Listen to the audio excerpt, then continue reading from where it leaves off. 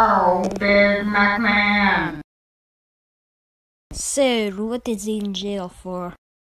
Just, your average tax, evasion. Wait, Liz, you used to be in jail for a long time. Oh, that sucks.